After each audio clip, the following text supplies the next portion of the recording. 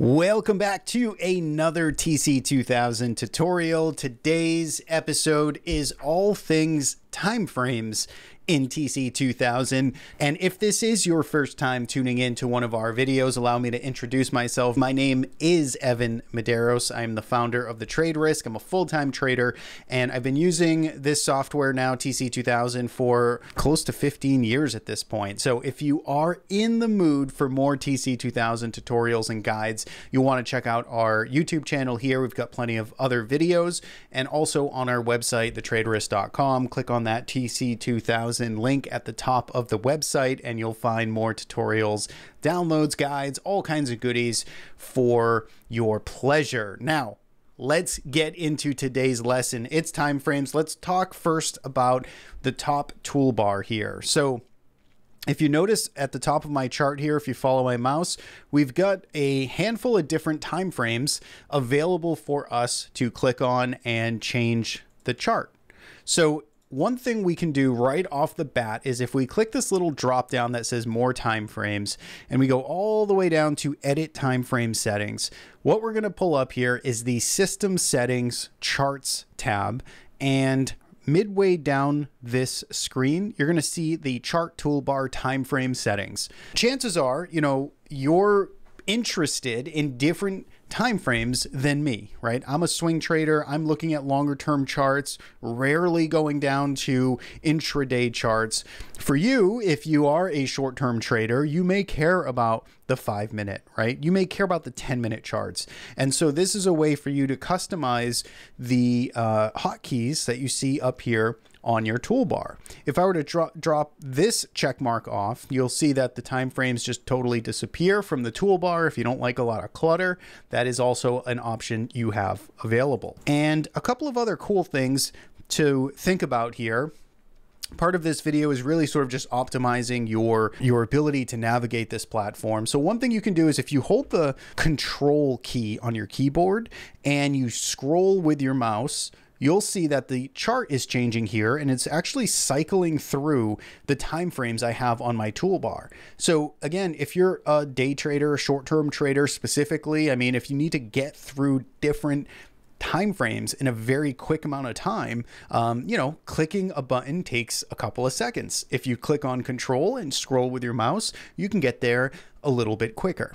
Another shortcut is actually using hotkeys. We'll put the hotkeys here on this video, but basically, you know, if I click the number one, the chart will automatically move to the daily time frame. If I click the number two, I'm going to go to a two day time frame.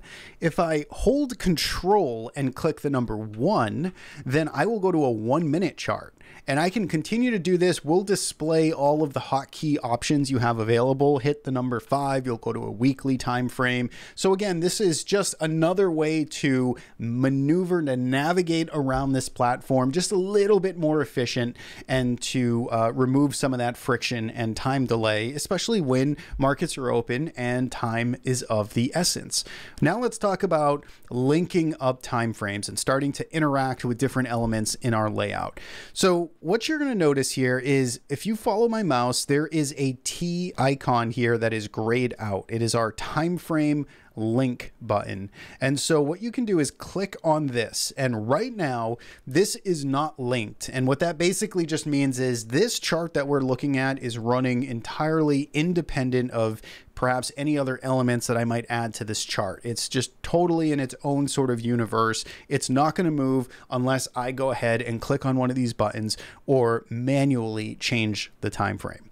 What I'm going to do is I'm going to click on charts and I'm just going to throw another of my standard charts on here and I'm going to move it into this window. And now I have two charts. All right. And so once again, you'll notice that if I look on the chart on the left here, I've got the time frame that's off or grayed out. And on the right hand side, it's grayed out. So let's just illustrate this. If I go to a weekly time frame of the SPY, notice that the SPY is still on, or actually the daily chart at this point, right? Daily on the right, weekly on the left go to a 15 minute chart. It's just moving the chart that I am clicking on. All right. Now let's change things up. Let's link these together. Let's click on the blue time frame link. We've got all these different time frame links. They're the color doesn't matter. It's just so you can organize and group elements together to coordinate those time frames. So let's do a blue time frame on the left and let's switch this to a blue time frame. All right, so let's click on the 65 minute chart in this case.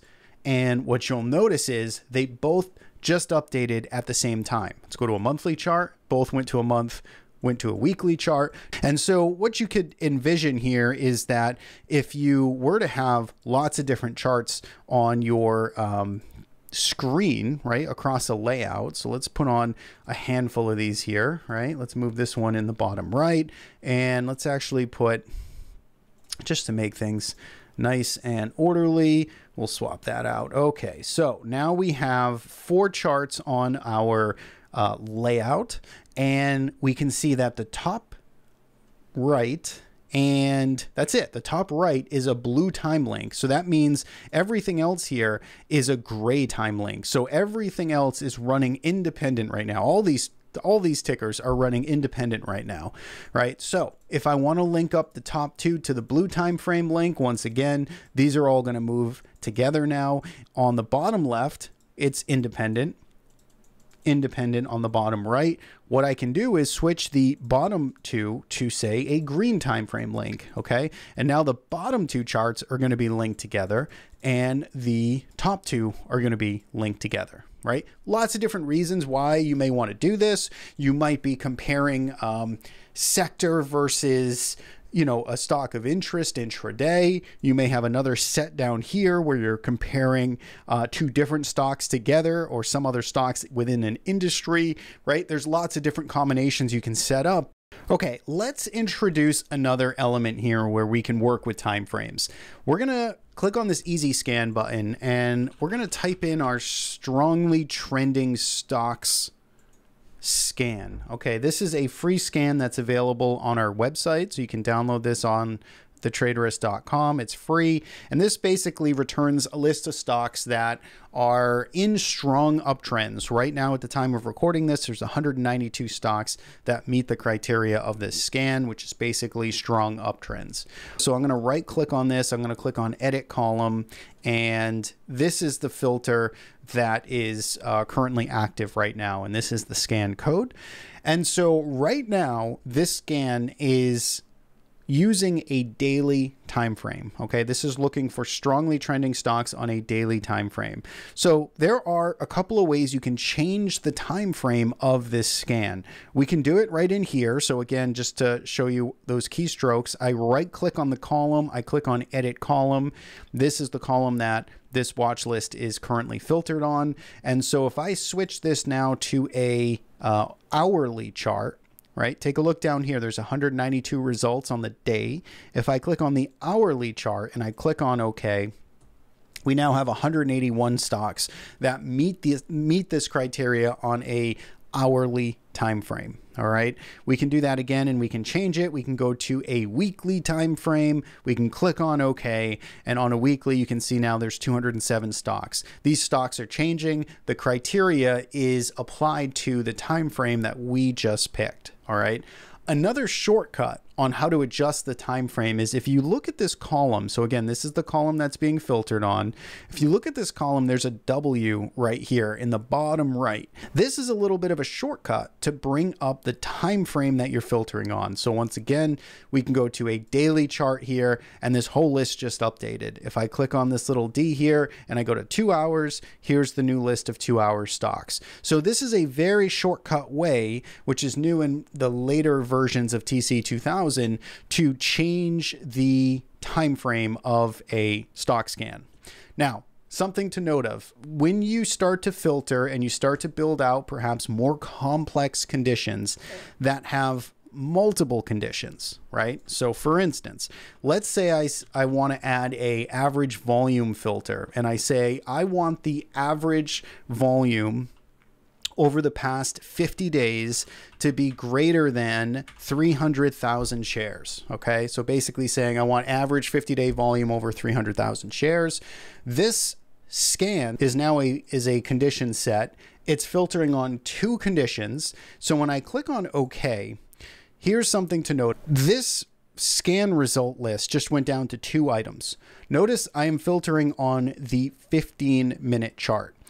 Here is the problem. The extra condition that I just added, 50 day volume needs to be greater than 300,000 shares. That's not actually looking at a daily chart. That's not doing the intended filtering. This is actually looking for 50 bar 15 minute volume over 300,000 shares, aka you got really liquid stuff here. This is every 15 minutes. These stocks that are showing up on this list are trading at least 300,000 shares. So, what I need to use is this little mixed radio button here. When when I click on the mixed radio button, this just put this little dash in here and it says daily and it says dash daily, right? Let me show you that again. If I go to 15 minute, it just says is true is true. When I click on mixed, it says is true dash daily is true slash daily. What this allows us to do now is to designate time frames based on each condition. So what I can do is I can click on this first condition and say, you know what? I want this to be the 15 minute chart that I intended, but I want the volume to register on a daily time frame. So each condition now is on a different time frame. If I click OK, so I'm getting liquid uptrend 15 minute time frame stocks based on a daily liquidity filter. Okay. When I use that multi time frame option, notice that the bottom right little hotkey no longer exists.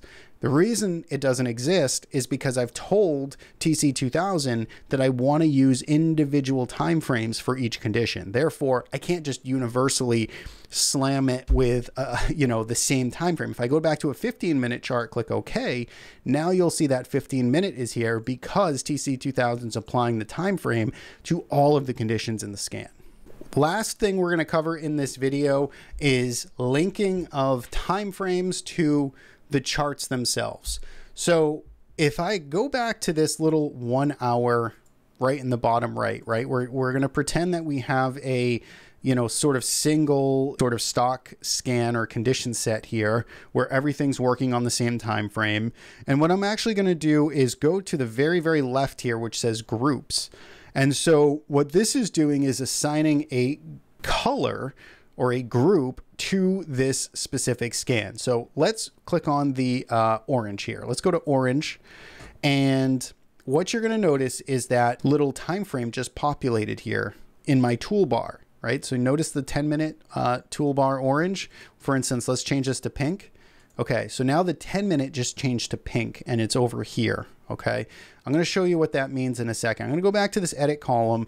I'm going to delete the second condition just because I want to keep things kind of simple here. Okay, okay, so you can see 200 results now, and the pink time frame is on a 10 minute 10 minute time frame. Okay, let's drop this down and switch this to an hourly. And what you'll notice is is this just updated. All right that updated with me on the toolbar up here. Okay, so what I'm effectively able to do is update the list of stocks here um, based on my toolbar, which is pretty neat. Now I can take this one step further and I can switch over um, the active time frame link here to this violet. And what I can do is say clicking on here, when I switch this daily this chart to a daily time frame, this entire list just updated. And the reason it did is because I put the time frame link to the pink or to the violet. Okay, go back to a 15 minute chart, and this whole list just updated. And so once again, I am now telling TC2000 that I want my charts to be linked with my uh, scan results or the filtered scan results. All right. So as I go through my different charts, I can have my list updating.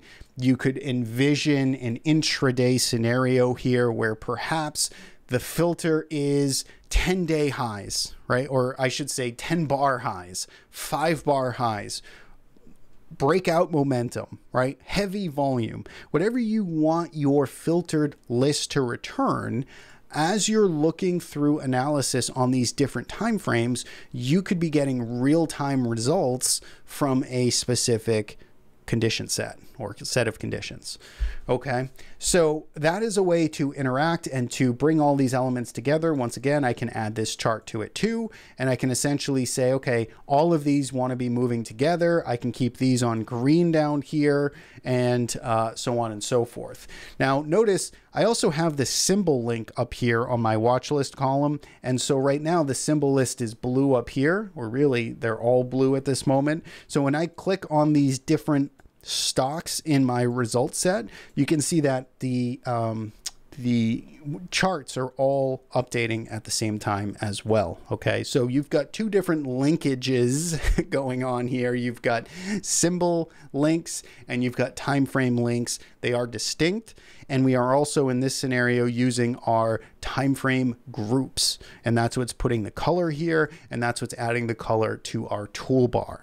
Okay, so I think that's pretty much everything I wanted to cover in this tutorial. Uh, we get questions about timeframes and how to use them. I worked with a client recently about this, and so this was uh, really sort of prompted the video here. And don't forget, you've got your hotkeys that you can use, and you can scroll through your different uh, timeframes after you set the timeframes that you really want displayed on the top of your chart as well. So lots of flexibility there, and uh, hopefully I taught you something new in this video. If you have any comments or questions, please leave it below in this video video. Did I miss anything on time frames? Uh, leave a comment below in this video as well.